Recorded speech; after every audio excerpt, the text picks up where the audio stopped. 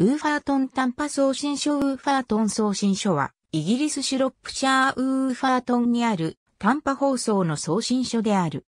この送信所は、もともと第二次世界大戦中に BBC によって建設されたもので、レンドリースポーによって得られた6台の RCA 社製 50kW 送信機を有していた。過去に、この送信所は何度も近代化され、現在ではデジタルラジオモンディエールと呼ばれるデジタルラジオ番組を送信できる設備も有していて、NHK ワールド、ラジオ日本や BBC ワールドサービス、ドイチェベレ、ボイスオブアメリカ、ボイスオブベトナムなどの放送局がヨーロッパ、ロシア、北、中央アフリカ、中東、南米向けの短波放送を 4MHz26MHz で放送するために使用している。また、衛星通信にも使用されている。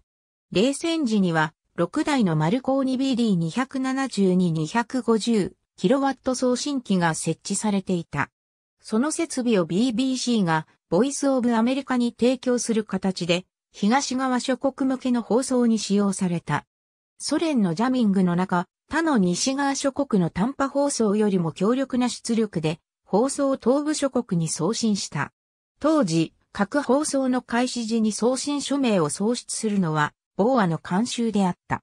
そのため、ウーファートンを訪れる人々は、こちらは、ウーファートンのボイスオブアメリカですという言葉で放送が始まるのを楽しみにしていた。1990年代には BBC の送信設備はすべて民営化された。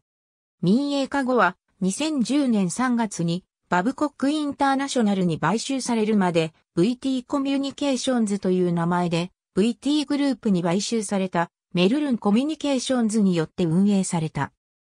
ウーファートン送信所には現在リズ製 250kW 送信機3台、リズ製 500kW 送信機1台、マルコーニ製 300kW 送信機4台と 250kW 送信機1963年導入2台がある。また、リズの送信機は DRM 放送の送信も可能で、BBC と NHK のデジタル番組を送信している。ありがとうございます。